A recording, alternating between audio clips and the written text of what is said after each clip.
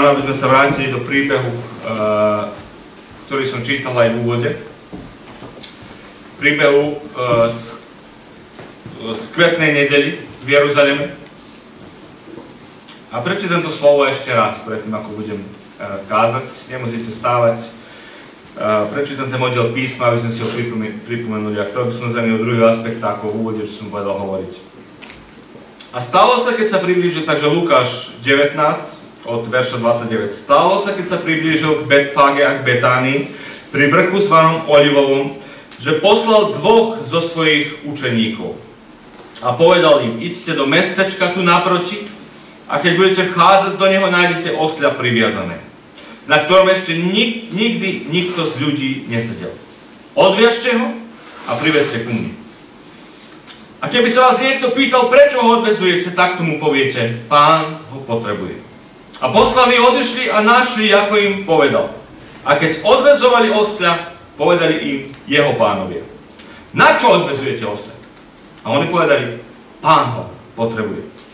A priviedli ho k Ježišovi a hodiac na osľa svoje rúcha vysadili na Ježiša.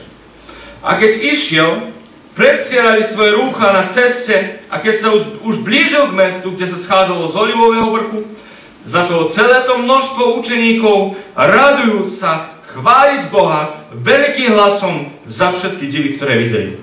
A hovorili, požehnaný kráľ, ktorý prichádza v mene pánovom, pokoj na nebi, sláva na výsostiach. Ale niektorí z farizeov zo zástupu mu hovorili učiteľu, potresti svojich učeníkov a on odpovedal a riekol im, Hovorím vám, že keby títo mlčali, kamene budú hneď volať. Tomto príbehu Ježiš zišiel do Jeruzalema ako kráľ. Jazdil na oslíkovi. A veľký zástup ho dočkal tam pred mestom, vítali ho a oslavovali ho ako kráľa. Prestierali svoje rúcha, e, halúzy e, prestierali pred ním, volali Hosana, poženaný, ktorý prichádza mene pánom a jednoducho sa radovali. Ježiš prijal túto slávu a ak by oni nevolali, kamene by zaujali ich mesto a volali v tej chvíli. Pán Ježiš povedal, ja verím, že by sa tak stalo. Že keby ľudia nevolali, kamene by volali. Boh si zaslúži chválu. Boh chce našu chválu. Viete, raz som počul, jeden uh, brat z druhej denominácie mi povedal, že jeden kazateľ u nich povedal, že Ježiš povedal, ja chválu od ľudí nepríjmam a že Boha sa nemá chváliť. A to je jedna z najväčších hlúpostí, ktorú som v živote počul. Boh stvoril tento svet, stvoril ľudí k jeho chvále, aby on bol oslavený. Amen? Aby sa jeho sláva zjavila. My sme stvorení na Božiu slávu. Aby sme oslavovali Boha. A za to Ježiš hovorí, že keby títo ľudia, ktorí sú stvorení na moju chválu, aby mňa oslavili, nevolali na moju slávu, nedali mi slávu ako kráľovi, hovorím vám, že hneď by kamene volali. Hneď by niektorý kameň volal na Božiu slávu. Aká tu bola slávna chvíľa. Chcel by som naozaj byť tam a zažiť tú, tú tak, takú chvíľu. A verím, že sme chceli, aby sa takéto chvíle, keď sme vedomí, že kráľ je medzi nami, že kráľ vošiel medzi nás, že kráľ sa pohybuje medzi nami, viem, že takéto chvíle by sme chceli zažívať v našich zborách, v našich dedinách, v našich mestách. Kdekoľvek na zemi chceli by sme, aby sa takéto manifestácia, prítomnosť kráľa zjavovala. Aby prichádzal medzi nás, aby prichádzal medzi ľudí, aby ľudia prepoznali, že on je kráľ. A viete, že on z času na čas prichádza. Pán Ježiš prichádza z času na čas medzi nás, medzi ľudí. Je oslavovaný a cítime v tých chvíľach mocnú Božú prítomnosť. Ježiš bol oslavený a zišiel do mesta a proroctvo sa splnilo. Zachariáš prorokoval o tom, že hľad tvoj kráľ prichádza tichý, on jazdí na osliadku a to proroctvo proroka Zachariáša sa muselo naplniť a sa naplnilo. Ale aby sa toto naplnilo proroctvo, tak voľak musel vykonať svoju úlohu.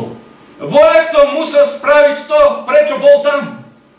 A viete, vždy je to tak, aby sa Božia sláva zjavila medzi nami na zemi niekto, kto je v Božom pláne. Musí spraviť niečo, za čo ho Boh pripravil.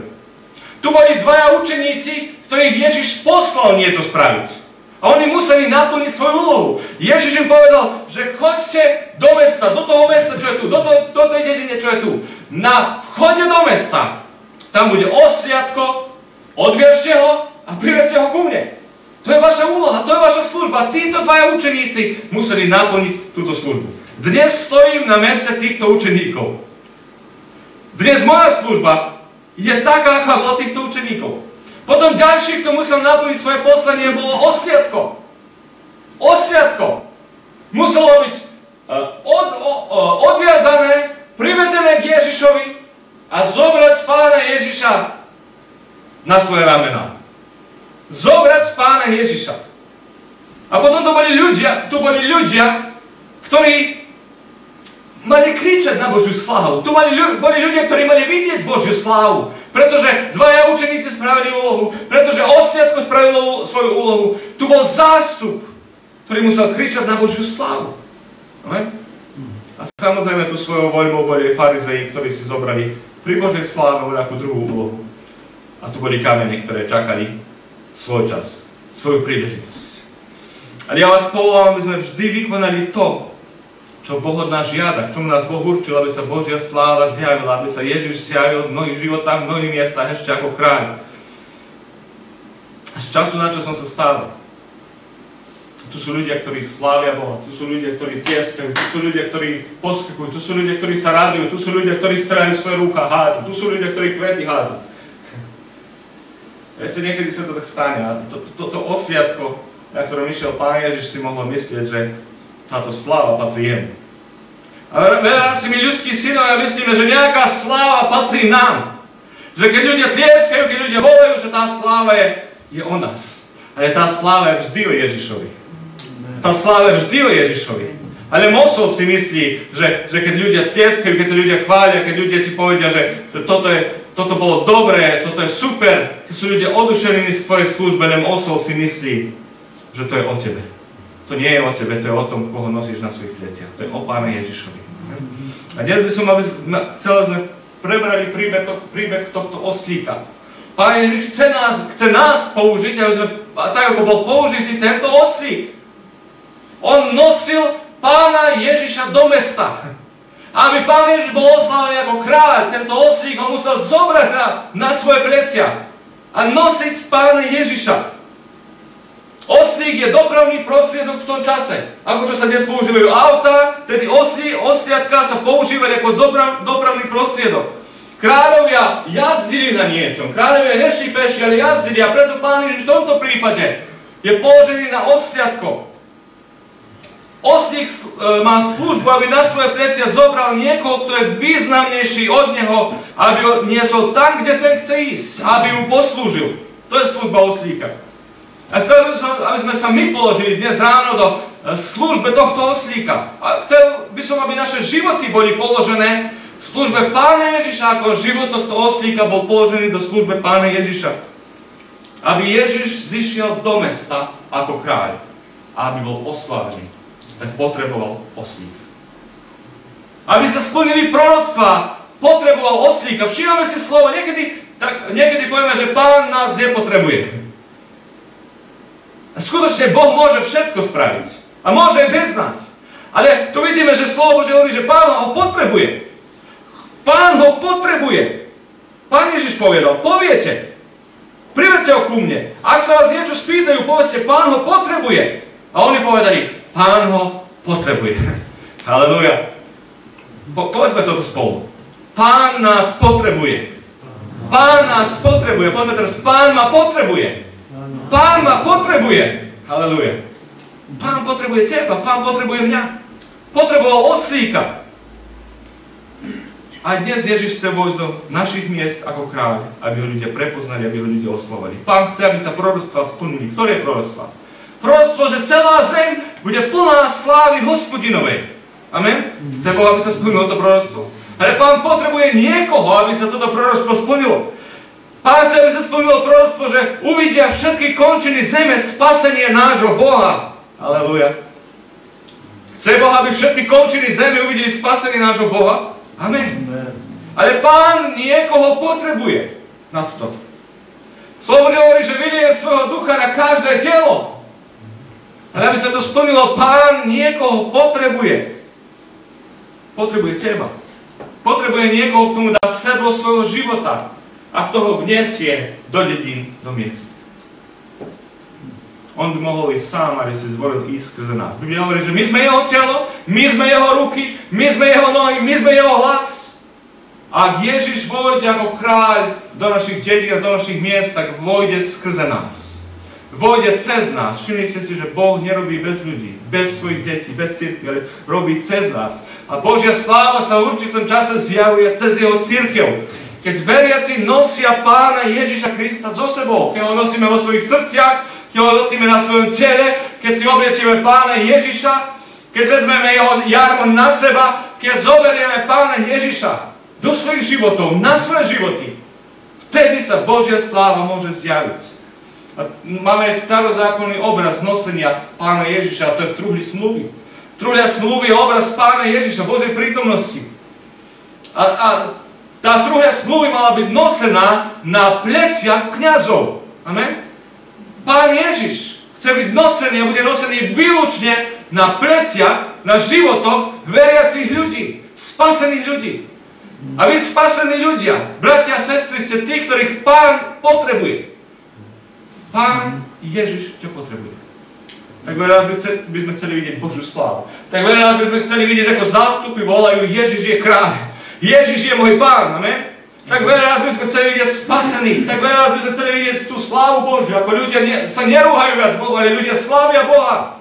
Ale na to, aby sa to stalo niekde, tak Pán potrebuje teba. Pán potrebuje teba. Ty si pánov dopravný prostriedok do tvojho mesta. Tam, kde ty ideš. Tam, kde ty chodíš. Ty si pánov oslík. Ty si pánov dopravný prostriedok. Tam, kde ty chodíš, tam možno ja nechodím. Možno nikto tam neodídem. Ale tam, kde ty chodíš, aby sa tam Božia sláva zjavila, tak pán ťa potrebuje. Ježiš potreboval problíka, oslíka. Ale je jeden problém. Je jeden problém. Oslík je čistý. Oslík je neosedlaný neojazdený. Ešte nikto na ňom nesedel. Oslík je práve taký, akého pán jedine použije. Amen? Toto sa nám stalo, keď sme boli očistení krvou Ježiša Krista. Amen? Sme boli očistení od každého hriechu. Ježiš bol náš pán, sme boli čistí, nejazdený, neosedlený, nový. Haleluja. Taký, akých pán môže a chce jedine použiť. A tento oslík je taký. Ale dlhý čas existuje problém. Je priviazaný. Je priviazaný. Aj keď je čistý, je neužitočný, nejaká Božia sláva na ňu sa nezjavuje, pretože zaviazaný niečím o niečom. Niekto ho zaviazal o niečom, o nejaký plot. A on len to stojí, je čistý, je nový, je nejazdený, je neosedlaný, je pripravený. Áno, ešte nie osedlaný, ale to nie je téma pre dnes. Je čistý. Viete, veľa sa my ľudia uspokojíme veriaci. Som čistý. Očistený krvou Pána Ježiša Krista. Ale môže byť čistý a neužitočný. Ak si priviazaný o niečo niečím. Ježiš povedal dvom učeníkom, odviažte ho, odviažte ho a privedte ho. Odviažte ho a privedte ho ku mne. A dnes stojím na mieste týchto dvoch učeníkov a chcem poslúžiť pánovi tým, že rozviažeme niekoho a privedieme niekoho k pánovi, aby bol užitočný. Viete, Satan má celý arsenál povrazov na nás ľudí. Celý arsenál povrazov, ktorými nás viaže, aby sme boli neužitoční. Aby sme nenosili pána Ježiša, aby sa Božia sláva nezjavila. Ježiš povedal tomu učeníkom, odviažte ho privedte ku mne. Aké pobrazy nás viažú?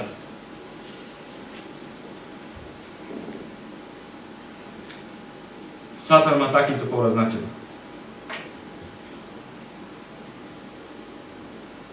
Aj taký povraz na teba.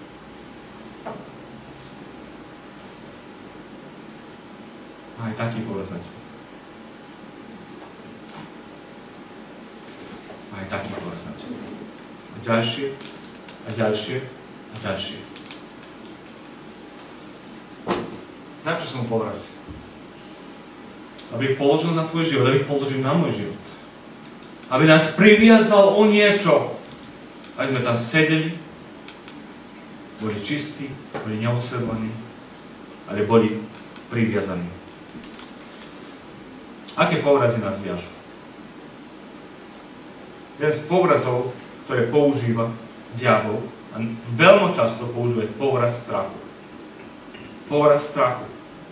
Ivane, môžem pomôcť, poď. Poď.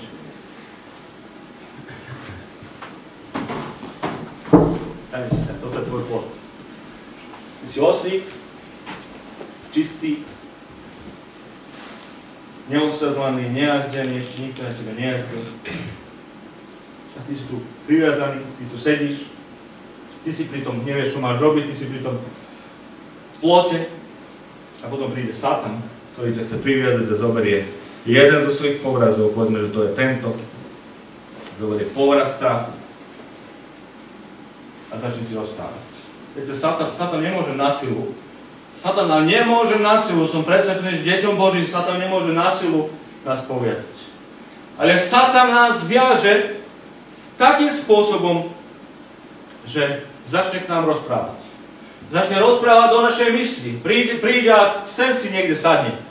Tu blízko tvojho ucha si sadne a začne ti rozprávať slovo. A akokoľvek my ľudia príjmeme tie slova, viete, niekedy veci, ktoré nám rozpráva, sa nás dajú príjemne, logické, Racionálne. Akokoľvek my príjmame, začneme príjmať tie slova, slova, tak Satan má moc na klás svoj povraz. Lebo my príjmame jeho slova, my nepríjmame viac Božie slovo, ale my príjmame jeho slova. A Satan ti začne povedať, prečo by si ty nosil pána Ježiša? Prečo by si ty svoj krbát podložil jemu? A čo, čo, čo ak by si spadol Zobral si pána Ježiša na seba také bremeno, nosiť pána Ježiša takú ťarku. A čo ak spadneš? Čo ak spadneš? Povedz mi, čo bude, ak spadneš? Všetci sa ti budú vysmievať. Všetci budú rozprávať, ja pozri, on, on vravel, že on môže nosiť pána Ježiša. Čo ak spadneš? Čo ak zlyhaš? Čo ak pán Ježiš nebude spokojný? Čo ak to, čo budeš robiť za pána Ježiša, nebude dostatočne dobre? Čo ak chybíš? Čo ak sa obrúkáš? A začne viazať svoj povraz. Akokoľvek príjmeme tie slova. Čo ak nebudeš užitočný? Čo ak pán nebude spokojný? Čo ak ti to zničí tvoj život? A koľko tu sedíme a príjmeme tie slova, tie puta a tie povrazy toho strachu sa mocnejšie. A potom niekto to tam priviaže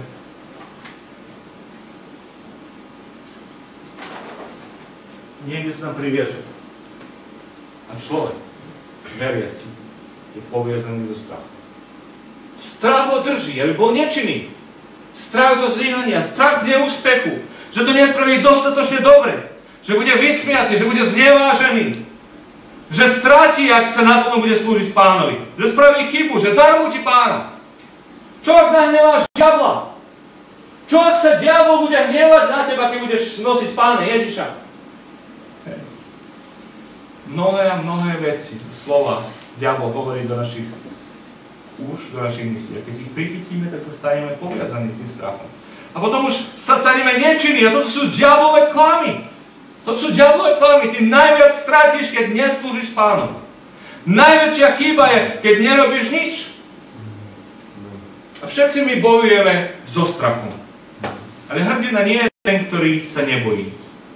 Hrdina nie je ten, do, do ktorého života strach nenapadne. Ale hrdina je ten, ktorý nadvláda svoje strachy. Ktorý odhadzuje svoje strachy. Ktorý nepríjma strachy.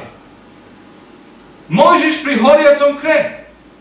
Keď ho Boh posila, aby priniesol jeho slávu do Egypta. Mojžiš pri horiacom kre má 5 výhovorkov a najmenej 4 alebo 5 sú strache. Prečítam vám ich. Hovorí Mojžiš, Bohu, kto som ja? Kto som ja? Strach, že nie je dostatočne kvalifikovaný. Strach, že nemôže naplniť Boží, Boží zámer, Božiu úlohu. Kto som ja, Bože? Ja nie som dostatočne kvalifikovaný. Druhý strach, ktorý vyjadruje, kto si ty? Kto si ty, Bože? Strach, že Boha nepozná dostatočne, že nevie, kto je Boh, nevie, aké je jeho meno. Bože, tak málo viem o Tebe. Ako môžem ísť do Egypta pred faraóna? Strach. Neviem o svojej identite dosť. Neviem, kto som ja. Necítim sa kvalifikovaný, že môžem to robiť pre Teba. Neviem, kto si Ty. Nepoznáte dostatočne. Čo ak ma nebudú počúvať? Tretí strach vyjadrený. Čo ak ma nebudú počúvať? Strach, že, nebudem, že budem neúspešný, strach, že sa mi nepodarí, strach, že sa obrúkam, strach, že to nevíde dobre. Koľký z vás bojujete s takým strachom? Boh posiela nosiť jeho meno, nosiť jeho, nosiť jeho slovo. Niečo spraviť pre jeho kráľovstvo. Čo ak ma nebudú počúvať? Čo ak sa mi vysmejú? Čo ak sa obrúkam? Vieš čo? Ak sa budú smiať, budú sa smiať tomu, kto, koho nosíš. Ty keď zoberieš niekoho, viac to nie je o tebe, ale je to o tom, koho ty nosíš. A ten je mocný nosiť teba. Ten je mocný ťa zachovať. Aleluja. A potom štvrtý strach. Hovorí, nikdy som nebol dobrý hovorca. Ani teraz nie som. Nehovorím správne a ty ma posielaš pred faraóna. Strach z pocitu neadekvátnosti, strach, že je neadekvátna osoba, že ja nie som ten, ko si mal poslať. A potom konečne hovorí, viem, že môžeš poslať vojakoho druhého. Strach z pocitu menej cenosti. To druhý by to lepšie spravil ako ja. Ty posielaš, Bože, druhý, chybného človeka. Pošli niekoho, kto vie presne, kto je on. Pošli niekoho, kto vie, kto si ty, kto ťa pozná, kto pozná tvoje meno. Pošli niekoho, kto je dobrý hovorca. Pošli niekoho druhého. Ja nie som ten najlepší. A viete čo Boh? Boh nedovolí ani jednu výhovorku Mojžišovi. Hovorí, ja ti pošlem pomoc. Ja ti posielam Aaron. On ti bude pomôcť, ale nezabudni, teba som poslal. Ty to musíš spraviť. Ty musíš ísť pred faraóna. Chceš vidieť moju slávu? Chceš vidieť môj národ, aby sa vrátil? Chceš vidieť, aby uh, proroctvá sa splnili? Teba som si zvolil. Teba potrebujem. Amen? Pán ti hovorí, teba potrebujem. Generácia Gedeona je 7 rokov poviazaná strachom. Nepriateľ prichádza každý rok, berie ich žatvu, berie ich obilie, berie ich pšenicu a odnáša úplne všetko. Až kým sa Gedeon neodváži vykročiť a mlátiť pšenicu a zachrániť Izraela. Možno si sa aj ty dal premosť strachu.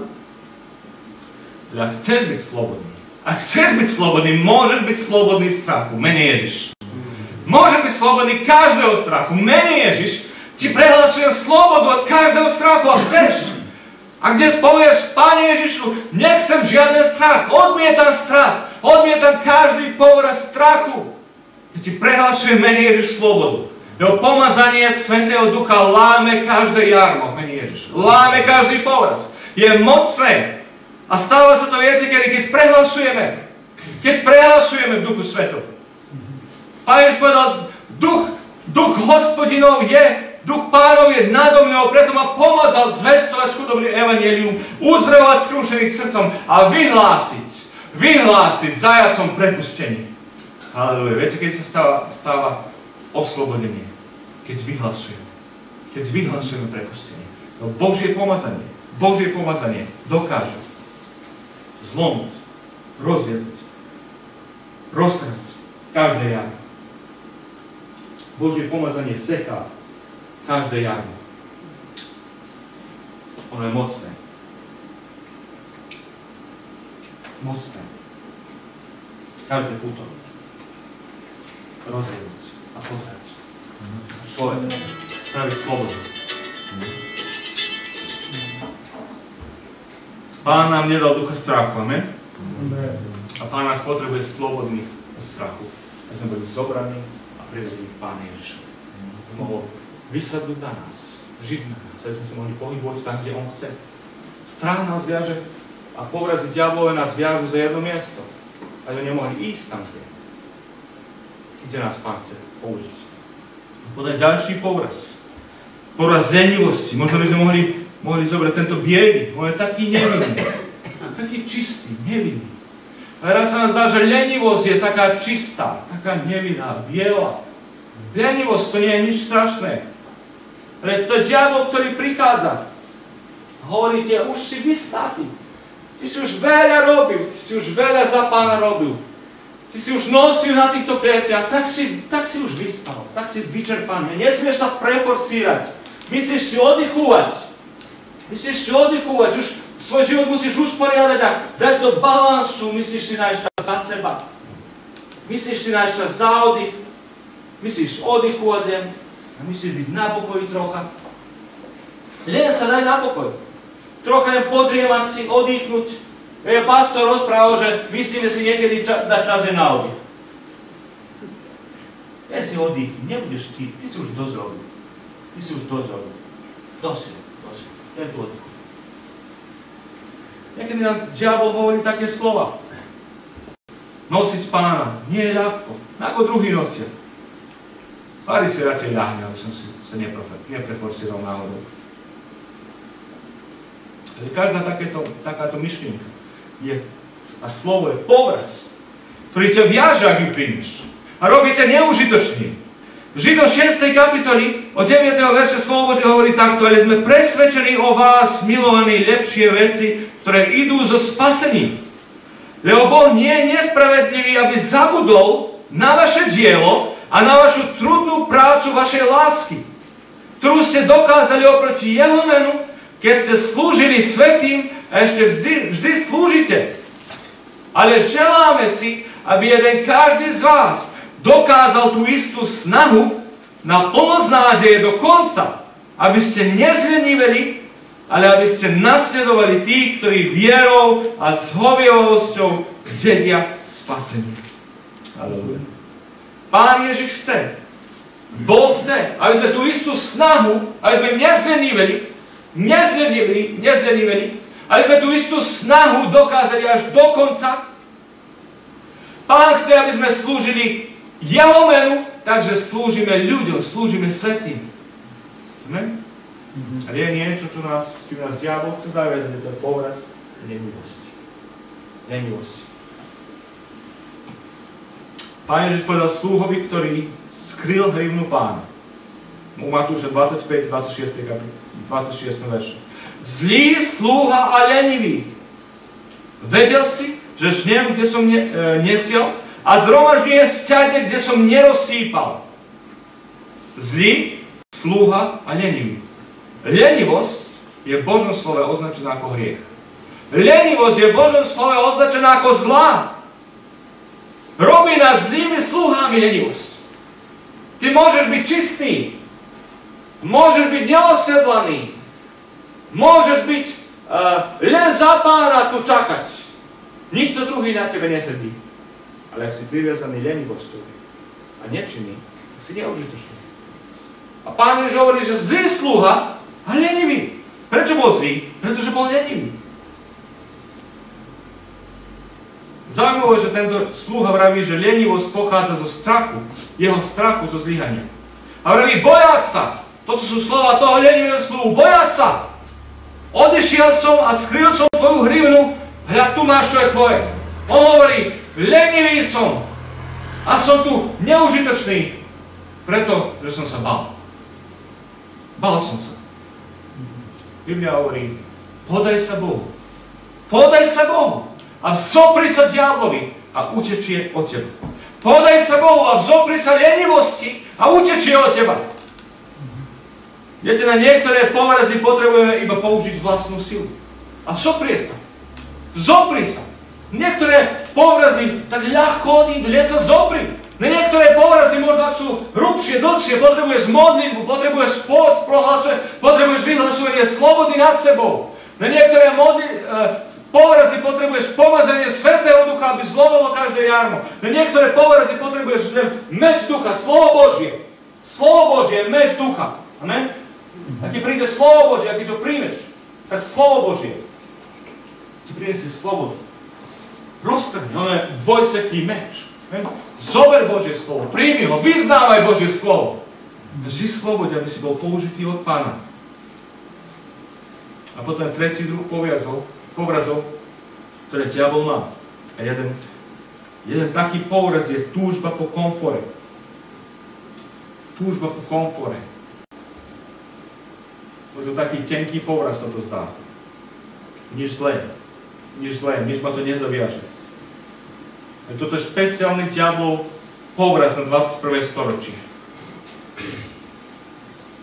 A pri tomto povraze diabol ti hovorí, že daj len telko úsilie, daj len telko času pre pána, keľko ťa to nebude stáť tvoj komfort. Ty by si mal mať svoj vlastný život, ty by si mal mať všetko, čo chceš. Ty by si mal, uh, potrebuješ všetko, aby ti bolo tam. Čas pre seba, čas pre tvoju rodinu, čas pre rekreáciu, čas pre drúženia, čas pre oddychovania. A voľa, čo ti začne náhodou boleť, ak ti voľa, čo začne naloga ubiti nije prijavljeno. Nije robiš, prestao otići. Nak drugi opet troha. Nak se drugi snaži. Ti maj svoj vlastni hom. Svoj vlastni Ti Idem, mi smo uživati, ti si už roka života, vi ste užroka života, vi ste pomerzi 36 i 59, vi ste už roka života, gdje ste si imali raditi svoj. Už pokojnije žić, už troška uživati, už si užiť. Diablové, budete také slova. To vyzerá taký tenký povraz, idem prichytávať. No tak je, tak je. Potrebujem už starať sa o svoje zdravie viac. To sú niektoré veci pravda z toho. Ale nič nie je vážnejšie, ako nosiť Pána Ježiša, ako slúžiť Pána Ježišovi. Toto telo je dočasné. Toto telo je dočasné. Čas tento je dočasný, ale existuje väčnosť. Amen? A my, my chceme nosiť Pána Ježiša Krista. Toto je stav, že budem slúžiť pánovi a budem slúžiť jeho svatým len do tej miere, kým ma to nebude stáť môjho komforu. Keď ma to začne stáť môjho komforu, tak viac nebudem nosiť pána Ježiša, ale budem tam sedieť a budem tam si hľadať svoj komfort. Keď budem mať všetko, čo potrebujem, keď budem mať všetko, čo chcem, keď budem mať všetko, čo druhý, druhý majú, ja budem slúžiť pánovi. To je klan diablov. Ty už máš všetko, čo potrebuješ. Aby si pracoval, aby si naplnil Božiu voľu pre tento čas. Viete, Ester, kráľovná Ester, si užívala komfort na kráľovom paláci. Nič jej nechýbalo. Nič jej nechýbalo. Je bolo super. Ale Mardocheus ju povolal. Prišiel k nej, viete tú udalosť, keď Židia mali byť zabití, keď Židia mali byť povraždení. Mardocheus prišiel ku nej a povolal ju, aby vyšla zo svojej komfortnej zóny. A Mardocheus, knihy Ester, 4. verš, 14. kapitola, je povedal takto. Ba ak budeš naozaj mlčať v tento čas, čo je on hovorí? Ak zostaneš vo svojej komfortnej zóne, ak zostaneš vo svojom komfore, ak nič nepodnikneš, ak budeš mlčať, dostaví sa Židom z iného miesta úľava a vyslobodenie a ty a dom tvojho otca zahyniete. A kto vie, či práve pre čas, ako je toto, neprišla si ku kráľovstvu. Kto vie, či si neprišiel ku kráľovstvu pre tento čas. A to bola pravda. To bola pravda. Ester prišla ku kráľovstvu pre ten čas, aby niečo spravila, aby priniesla vyslobodenie, aby Boh cez ňu priniesol vyslobodenie. A Ester vystúpila zo svojej komfortnej zóne. Ester sa začala modliť a posiť. Ester odmietla tie myšlienky komforu. Ester sa oslobodila od myšlienok o sebe, o svojom komfore, o tom, aby jej bolo dobre, Začala sa modliť, začala sa postiť a Ester podnikla kroky, ktorými rizikovala všetko, rizikovala svoj vlastný život, keď prestúpila pred kráľa a Ester zastavila realizáciu plána nepriateľa a zachránila celý židovský národ. Ester priniesla slávu Bohu Izraela. Viete prečo? Pretože povedala, príjmam tieto slova Mardochea. Nebudem tu len sedieť, nebudem tu len močať, Nebudem si tu len užívať, kým môj národ tam hynie. A ja zhodím to puto. Vykročím. Budem rizikovať. zoberiem Božiu voľu na seba a nech sa stane, čo sa stane. Ak zahyniem, zahyniem. Ak zahyniem, zahyniem. Koľko z nás sme za Pána Ježiša, za slávu Pána Ježiša povedali, ako povedal Ester. Ak zahyniem, zahyniem. Ja som hotová sa zrieknúť tohto komforu. Ja som z pozícii kráľovnej hotová sa zrieknúť a stratiť všetko. Ja som hotová stratiť svoj vlastný život. Lebo pochopila, že práve pre tento čas prišla ku kráľovstvu. A že ak ona nespraví svoju úlohu, tak Boh si môže nájsť niekoho druhého. Pán ťa potrebuje. Pán ťa potrebuje. Pán mňa potrebuje. Ak ja nespravím svoju úlohu, pán si nájde nejaký kameň, Pán si nájde nejakého iného oslíka. Pán použije niekoho druhého a oslávi sa. Ale pán chce použiť mňa, pán chce použiť teba. Amen? Preto nedovolím, aby sme boli priviazaní. Otoď putá diablo. Je ešte jeden povraz. Povraz materializmu. Sú mnohé, mnohé iné povrazy. Posledný, ktorý spomenie, povraz materializmu. Pestrofarebný, veľa farbov pekných farbov, pekných vecí. Chcel by si slúžiť Bohu? To ti bude veľa stáť. A ty nemáš čas. Ty nemáš čas. My nemáme teraz čas. My sa teraz musíme zmáhať. My musíme mať to, čo majú tí a to, čo majú tí. A pozri, tí, čo si kúpili, aké auto si tí kúpili. Aj dom majú krajší ako my. My musíme teraz robiť Teraz sme v najlepších rokách, teraz sme pomedzi 36 a 59. Teraz musíme získavať robiť a my nemáme čas. Ak nebudeme robiť, my nebudeme mať. Robiť musíme. A snažiť sa. Nemôžeme, nemôžeme mať čas. Nám, nám neposielajú peniaze z neba. Nám ani z Ameriky neposielajú peniaze. Nás neplatia druhý. Nás neplatí církev. Nebudeme robiť. Nebudeme mať a musíme robiť. Keď budeme mať čas, potom aj my pomôžeme.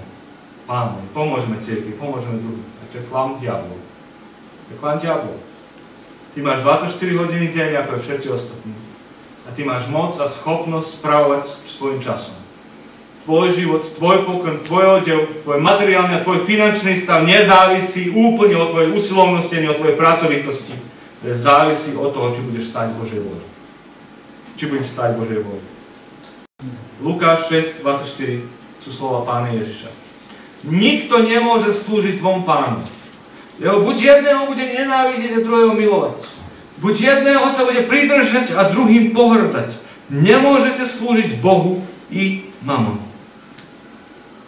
Peniaze sa dobrý slúha, ale zlý pán. Pán Ježiš je ten najlepší pán. Amen? A my, my pracujeme a lenivosť je hriech. My pracujeme v tomto živote, to je náš údel, my získávame a zarábame, my chceme mať veci, je to v poriadku, ale nikdy by sme nemali zabudnúť, že naša najdôležitejšia úloha na tejto zemi je nosiť Pána Ježiša vo svojich životách a priniesť Pána Ježiša všade tam, kde my ideme. Nie získať viac a viac a viac, ale priniesť Pána Ježiša. Tvoj Pán ťa potrebuje. Ak sa mu odáš slúžiť, on slúbil, že bude tvoj Jehova Ir, že bude tvoj Boh, kedy sa o teba postará, že bude Boh, kedy sa stará, že nebudeš mať nedostatku. Chcem prehlásiť všetkým nám. Slobodu, slobodu, prepustenie zo strachu, prepustenie z lenivosti, prepustenie z túžbe po komfore, prepustenie zo slobodu od materializmu. Pán nechce, aby sme boli poviazaní ani jedným jeho diablovým povrazom.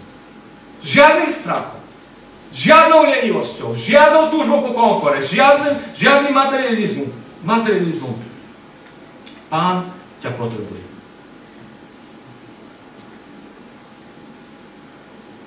Dávam jeden príklad. Môžete mať ten najlepší, najkrajší, najnovší Mercedes.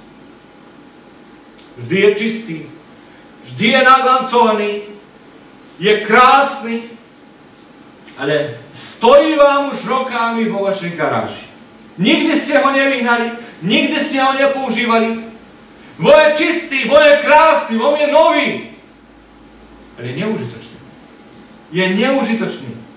A slúži len na budovanie vášho vlastného ega, aby ste ukázali, pozri, aký veľa Mercedesa. Pozri, ako je neoškriabaný. Nemá ani jednu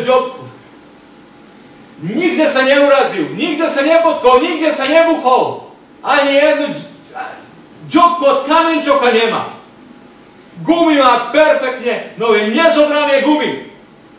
Toto je Mercedes novi, kupio sam si on. Čisti. Vjeti čo? Nijaki užitok vam, ani drugim ljudima te Mercedes nigdje njebe nije so. Vem na to, biste se pohvalili, aby ste govorili jedno opadali, aki ja mam Mercedes. Ja mám krásne auto, ako, ako som ja krásne auto, čistý. Vždy očistený. Neužitočný. Lebo ste ho niečím, svojimi vlastnými túžbami alebo ideami, alebo strachom poviazali za svoju garážu. A nikdy nevyšol von. A nikdy nebol na užitok. Ani vám, ani druhým. Veľa raz my ľudia, veriaci ľudia môžeme byť takí. A dovolíme, aby nás veci, diablové, povrazy zaviazali držali, držali preč. Pán Ježiš povedal sluhovi, ktorý zakúpal svoju hrivnu, Matúša 25, 30, 30 verši. Toho neužitočného sluhu vyhoďte do vonkajšej tmy. 28 verš. Tedy vezmite od neho hrivnu a dajte tomu, ktorý má 10, lebo každému, kto má, bude dané a bude mať hojnosť, ale od toho, kto nemá, bude vsaté i to, čo má. A toho neužitočného sluhu vyhoďte do vonkajšej tmy. Tam bude pláč a škrípenie. Neužitočnosť. Čo bol problém tohoto sluhu? Bol nečistý? Bol ojazdený niečím druhým? Nie, bol neužitočný. Neužitočný sluha. Je toho neužitočného sluhu, vyhoďte von. Viete čo? Náš pán nepotrebuje neužitočných sluh. Ale pán ťa potrebuje. Amen? Pán ťa potrebuje. Potrebujete čistého, potrebujete neojazdeného. Byť čistý a byť rozviazaný. Nie? Aby nás mohol použiť. Podložiť svoje plecie. On sedlo tvojho života. Chvíľu mi dovolte hovoriť o čistote. On sedlo tvojho života nebude deliť s nikým iným. On neprestane mať v tvojom živote ani jednu druhú úlohu. Jedine, aby bol tvoj pán. Nikto nemôže slúžiť dvom pánom, amen? On si nebude deliť sedlo nášho života s niekým iným. On nebude sedieť tam s nejakým iným bude sedieť tam sám, alebo tam nebude sedieť. On jediný chce byť pán nášho života. A on nás potrebuje čistých. Možno na tvojom živote už boli mnohí jazdcovia, mnohí pánovia, mnohí pohojniči. Ale pán ťa môže očistiť a pán ťa chce očistiť, aby si bol čistý, nevinný a pripravený k jeho svetému použitiu. On povedal, že keď ťa očistí, tak zabude na všetky tvoje neprávosti. Zdialí ho teba, že budeš belší ako sneh a že na tvoje hriechy viac nikdy nespomenie tak Pán Ježiš ťa môže očistiť, pripraviť k svetému použitiu spraviť ťa takým, ako by si nikdy nehrešil, ako keby nikdy nikto na tebe nesedel. A v 2. Timoteovi, v 3. kapitoli, od verša 19 sa hovorí takto. Ale pevný základ Boží stojí a má túto pečať. Pán zná tí, ktorí sú jeho. A nech odstúpi od neprávosti každý, kto menuje meno Kristovo. Toto je, pán pozná tých, ktorí sú jeho. Pán ťa potrebuje. Pán ťa pozná. A nech odstúpi od neprávosti každý, kto sa volá kresťan, kto menuje meno Kristovo. A vo veľkom dome nie sú samé zlaté a strieborné nádoby, ale aj drevené a hlínené, a to jedný na česť a jedný na nečesť. Keby sa tedy niekto vyčistil od toho, bude nádobou na čest, posvetenou, užitočnou hospodárovi, prihotovenou ku každému dobrému skutku. Vo veľkom dome sú zlaté, strieborné, drevené, hlinené nádoby. Aj ty si nejaká nádoba. Ale niektoré nádoby slúžia na čest niektoré nádoby sú špinavé a slúžia na nečesť. Ktoré nádoby slúžia na česť? Tie, ktoré sú čisté. Bez ohľadu, či je ten tanier zo zlata, alebo zo striebra, alebo z hliny. Alebo e, z dreva. Ak je čistý, môže z neho jesť čisté veci a môže každý normálny to použije na čisté veci. Ale sú aj nádoby na nečesť. Môže byť tá zlatá nádoba, ale ak je zafúľaná, tak môže byť na nečesť. Nie je podstatné z takého si materiálu, aké, koľko máš kvalitou, koľko je drahocené to, čo ľudia vidia v tebe.